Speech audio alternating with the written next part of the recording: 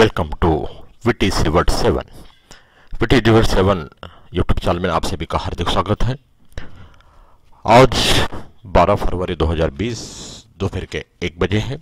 मैं हूँ ओल्ड गोवा के एक चर्च में, जिसका नाम आप सुनते ही बहुत अच्छा आपको लगेगा।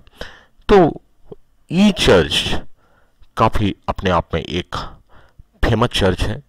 और ये चर्च, ये वीडियो में मैंने दिखा है, Basilica of Bom Jesus church.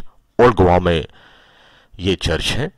और ये गोवा इस चर्च की खासियत, मैं आपको थोड़ी देर के बाद में बताऊँगा। लेकिन सबसे पहले आप हमारे ये वीटीसी यूट्यूब चैनल को आप सब्सक्राइब करिए और बेल आइकॉन के बटन पर क्लिक करिए ताकि हमारे नए नए वीडियो के नोटिफिकेशन आपको सबसे पहले देखने के लिए मिले। तो गई चलो चलते हैं इस Basilica of Bom Jesus church में।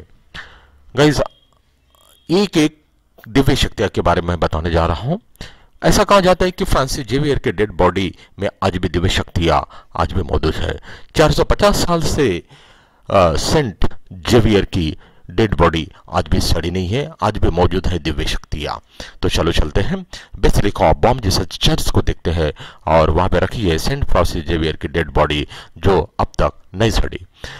तो गई चलो चलते हैं, और देखते हैं कि गोवा में पंजी स्थित Basilica of Bom Jesus church है, जहाँ पे सेंट फ्रांसिस जेवियर का शरीर 450 साल से सुरक्षित रखा गया है। कहा जाता है कि फ्रांसिस जेवियर के डेड बॉडी में आज भी दिव्य शक्ति है। इस वजह से वह आज तक खराब नहीं हुई और यही बेसिलिका ऑफ़ बॉम जिस चर्च में देश विदेश से काफ़ी टूरिस्ट यहाँ पे आते हैं। तो कहा जाता है? कौन थे ये Saint Francis Xavier? Saint Francis Xavier Saint से पहले एक सिपाही थे। वह इग्नाटियस लोयला के छात्र थे। इग्नाटियस लोयला जीजस के आदेशों के संस्थापक थे। बताया जाता है कि पुर्तगाल के राजा जॉन थर्ड और उस वक्त के पोप ने जेसुइट मिशनरी बनाकर फ्रांसिस जेवियर को धर्म के प्रचार के लिए भारत भेजा था, उन्होंने भारत समेत चीन, जापान के कई लोगों को ईसाई धर्म में दीक्षा दी। उनकी मृत्यु चीन के एक समुद्र यात्राओं के दौरान हुई थी। ऐसा कहा जाता है कि जेवियर ने मृत्यु से पहले शिष्य को उनका शव गोवा में दफनाने को कहा था, जिसके बाद फ्रांसिस जेवियर की इच्छा के मुताबिक उनका पार्थिव शरीर गोवा में दफनाया गया। लेकिन कुछ सालों बाद रोम से आए संतों के एक डेलीगेशन ने उनके शव को कब्र से बाहर निकालकर जेवियर चर्च में दोबारा दफनाया। ऐसा कहा जाता है कि कुल तीन बार उनके शव को दफनाया गया है, पर हर बार संत का शरीर उसी ताज़ा अवस्था में था जैसे उन्हें पहले दफनाया गया था। यह कहानी भी प्रचलित है कि संत के शरीर में दिव्य शक्तियाँ है।